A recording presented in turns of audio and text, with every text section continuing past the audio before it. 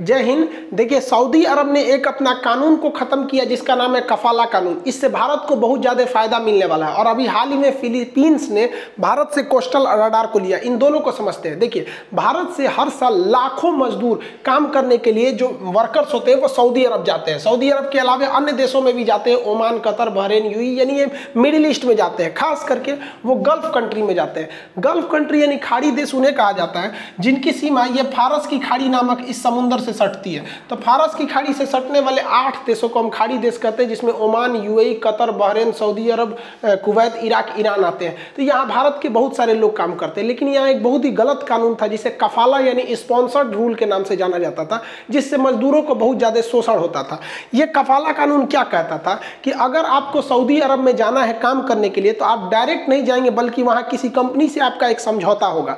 वो कंपनी क्या करती थी? आपका पासपोर्ट रख लेती थी। और आप जब वापस सोचेंगे उस कंपनी को छोड़ के वापस हम इंडिया आ जाए तो वो कंपनी को आप डायरेक्ट नहीं छोड़ सकते थे। एक लंबी प्रोसेस रहती थी। अगर कंपनी को लगेगा, नहीं, उसे वर्कर की जल्दी ज़रूरत है, हम इसे नहीं जाने दे तो आपको नहीं भी जाने दे सकती। छः छः महीने लगा देती थी। आपके घर में कोई इमरजेंसी हो, जल्दी आने नहीं देते थे सर। तो पहला एक ये दिक्कत था। और सबसे बड़ा जो दिक्कत था, कफाला कानून के तहत, कि वहाँ पर शोषण होता था मजदूरों का। मान लीजिए कि कोई वर्कर इंडिया से गया है, इस कंपनी में काम कर रहा है, और इसे तीस सैलरी दी जा रही है। लेकिन इसी को छुट्टी के टाइम पे ये घूमने गया तो पता चला कि यहाँ से पाँच किलोमीटर दूसरी दूर एक कोई और कंपनी है, वहाँ इसे तीस हज़ार के बदले सेम काम की पचास हज़ार रुपये सैलरी दी जाएगी। तो अगर ये कंपनी वाला ये वर्कर जो इंडिया से यहाँ गया है, यहाँ रिज्वाइन देता है और उस कंपनी में ज्वाइन कर लेता है तो पुलिस इसे कपाला कानून के तहत पकड़ के जेल में डाल देगी। आप नहीं चेंज कर सकते थे। इसको चेंज करने के लिए आपको क्या करना रहता था? इस कंपनी से आपको रिजाइन देना पड़ेगा और वापस इंडिया आना पड़ेगा। इस कंपनी को छोड़कर। इंडिया से आने के बाद फिर इस कंपनी में अप्लाई कीजिएगा, ये रिसीव करेगा, तब आप जा सकते हैं। इतना कॉम्प्लिकेटेड था ये। अभी क्या था कि मान लीजिए कोई जाना चाहता था इस कंपनी से छोड़ के इस कंपनी में ताकि उसे तीस के बदले पचास हज़ार रुपये मिले तो यहाँ रिजाइन देता था ना तो कंपनी वाले रिजाइन ही नहीं लेते थे। कहते, नहीं जाने देंगे, तुम्हारा पासपोर्ट जमा कर लिए तो बहुत ज़्यादा ये कफाला कानून गलत था। इसका खामियाजा खुद सऊदी अरब को भुगतना पड़ा था। भारत से 2014 में सऊदी अरब में लगभग आठ लाख लोग काम करने के लिए गए थे। और 2018 में देखेंगे तो ये आंकड़ा घट के तीन लाख चालीस हज़ार हो गया। इतने खराब कानून की वजह से। ज़्यादातर लोग ओमान वगैरह में शिफ्ट हो गए सऊदी अरब के बगल में।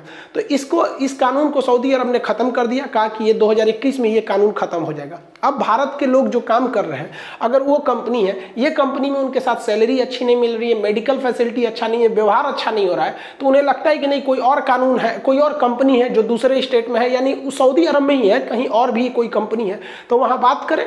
और ऑनलाइन एक पोर्टल दे दिया जाएगा मतलब वेबसाइट जहाँ पे वो अपनी शिकायत करे कि हम इस कंपनी के साथ खुश नहीं है, हम उस कंपनी में जाना चाहते हैं, वो कंपनी हमें बुलाने भी रेडी है, आप हमें इसका अप्रूवल दे दिए। तो अब सरकार वहाँ पे इसका अप्रूवल दे देगी। तो इससे भारत के लिए बहुत अच्छी खबर है। क्योंकि भारत को वहाँ पर अब काफ़ी ज़्यादा प्रॉफिट होना है। तो अब कंपनियों में कंपटीशन होगा। को, जो सैलरी अच्छा देगा मेडिकल फैसिलिटी अच्छा देगा, छुट्टी ठीक ठाक टाइम से देगा, लोग वहाँ पे चले जाएँगे। तो इससे भारत वालों को अच्छा होगा क्योंकि वो लोग, वो भारत से, सोचिए, दो हज़ार चौदह की अगर बात करें तो आठ लाख लोग वहाँ गए थे। खाना वहाँ की खाते थे, पानी वहाँ पे, प्रदूषण वहाँ करते थे, हवा वहाँ की लेते थे, मेहनत वहाँ करते थे। अब खड़े पैसा कमा के यहाँ भेज देते थे, सोचिए। अगर ये लोग यहाँ पर दस को, दस हज़ार रुपये भी कमाएँगे तो आठ लाख में दस हज़ार करेंगे, करोड़ों करोड़ों रुपए भारत में आ जाता था। तो ये भारत के लिए अच्छा है। आखिर सऊदी अरब ने ऐसा किया क्यों? तो एक्चुअली देखेंगे, सऊदी अरब के पास अभी चल रहा है जी ट्वेंटी का कमांड जी ट्वेंटी के पूरी कंट्रोल सऊदी अरब के पास अभी उसका लीडर है। तो इसमें वो सुधार करना चाहता है, इसी बहाने वो दिखाना चाहता है। हालाँकि इसमें तो सुषमा स्वराज जब विदेश मंत्री थी, तभी उन्होंने कहा था कि ये कफाला कानून भारत के लिए अच्छा नहीं है। लेकिन फाइनली सऊदी अरब ने अपने लेबर मिनिस्ट्री को कह के इस आदेश को सुधरवा लिया है। इसके पीछे जो सबसे बड़ा कारण है, वो कोरोना है। देखिए, कोरोना ने सऊदी अरब को दिखा दिया कि पेट्रोलियम के भरोसे बैठेंगे ना तो बर्बाद हो जाएँगे। तो कोरोना की वजह से पेट्रोलियम का डिमांड घटा तो सऊदी अरब रूस की अर्थव्यवस्था गिरी। तो सऊदी अरब को लग गया कि नहीं, हमें संभलना है। तो सऊदी अरब ने एक मिशन 2030 बनाया, यानी 2030 तक सऊदी अरब को अपने पेट्रोलियम पर निर्भरता को हटाना है। तो पेट्रोलियम से निर्भरता को हटाने के लिए सऊदी अरब ने खुद को सोच रहा है कि हम मैन्युफैक्चरिंग हब बनाने के लिए, हम लेबर्स के लिए अच्छा व्यवस्था रखेंगे। तो अच्छी बात है, आपका फ्लेक्सिबिलिटी देंगे तो बहुत से लोगों को काम करने को यहाँ पे सहूलियत हो जाती है। तो इससे तो भारत को बहुत अच्छा होगा कि अब बहुत सारे कंपनी वाले जा सकते हैं।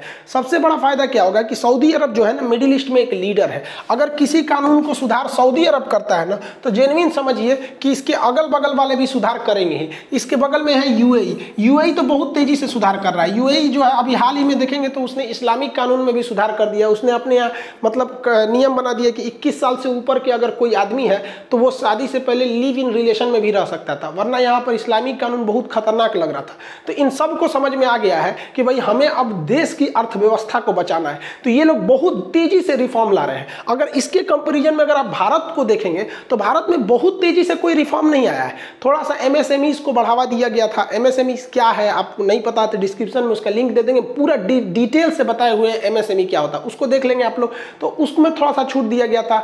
जो लोन मॉनिटोरियम था, उसमें थोड़ा बहुत था। लेकिन आप अगर देखेंगे तो बहुत बड़ा चेंजिंग नहीं आया इंडिया में। जबकि ये लोग बहुत जल्दी से सजग हो रहे हैं। तो हम लोग को भी अपनी मॉडल ऑफ़ इकोनॉमी को हल्का सा बूस्ट करना पड़ेगा, थोड़ा चेंज करना पड़ेगा, कि कोरोना ने ना पूरी तरह से लाइफ स्टाइल बदल दिया। अब ये कितना दिन रहेगा, ये प्रेडिक्ट करना भी मुश्किल है, क्योंकि डब्ल्यूएचओ का अभी का करंट अपडेट देखेंगे तो कह रहा है कि अभी सेकेंड वेव आने वाला है। तो इसलिए भारत सरकार को भी अपनी इकोनॉमी को इसी के पैरलर वर्ल्ड पैरलर पे बनाना चाहिए और भारत को ऐसा करना चाहिए कि जो कोई भी कंपनी मैन्युफैक्चरिंग हब इंडिया में बने, यहाँ के लेबर लॉ का। हालाँकि इस फ़ील्ड में हम लोग चाइना को बहुत बड़ा टक्कर देते हैं। चाइना सोचता है कि भारत की इस इकोनॉमी को कैसे भी गिरा दें, यहाँ भारत का पकड़ है। लेकिन यहाँ पे चाइना सक्सेस नहीं हो पाता है, जिसके दो वजह है। चाइना में इंग्लिश बहुत कम लोग बोल पाते हैं। और चाइनीज़ भाषा ऐसा है कि लोग थोड़ा बहुत भी नहीं जान पाते हैं। कि बोल क्या रहा है? तो चाइनीज़ यहाँ आते हैं ऊँचा ऊँचा करता है तो समझे में नहीं आता अरे वहाँ के बड़े बड़े अरे वहाँ के विदेश मंत्री को इंग्लिश बोलने नहीं आता है डिफेंस मिनिस्ट्री को नहीं आता और हमारे यहाँ तो टूटी फूटी इंग्लिश तो कमों में सब लोग बोल लेते हैं। और सी वालों का पूछना ही क्या है? इंग्लिश से बोलबे करता है। तो यहाँ पर चाइना पहला इसमें हार जाता है। दूसरा चाइना के वर्कर स्किल्ड है, उन्हें काम बहुत अच्छे से आता है बट वो मल्टीपर्पज नहीं है। और हमारे यहाँ के वर्कर स्टील स्किल है मल्टीपर्पज भी है। मतलब काम भी अच्छा करते हैं, कई काम करते हैं। नट बोल्ट भी कस लेगा गैरेज भी बना देगा। लेबर नहीं है तो अपने से पेंट भी कर देगा। कोई मजदूर नहीं तो बोरा लेके अपने चढ़ जाएगा। अब पाँच बजे, पाँच बज गया है। पाँच बजे के बाद कहेंगे, तनी चाय पिया ना तो चाय बना के पिला देगा। आपको खाना वाना खुदे बना लेगा। तो इन सबों के लिए झमेला नहीं है। तो भारत के जो वर्कर है, वो स्किल्ड है साथ साथ मल्टीपर्पज है। तो इस एरिया में भी भारत सरकार को काम करना चाहिए। हालाँकि जब सुषमा स्वराज जी थी तो इसमें बहुत ज़बरदस्त काम किया था वो वर्कर्स के लिए, यहाँ यहाँ के काम के लिए। और दूसरी बात अगर देखिए भारत को तो भारत ने यहाँ पे, उस साइड तो सऊदी अरब देख लिए, यहाँ पर ये फिलीपीन।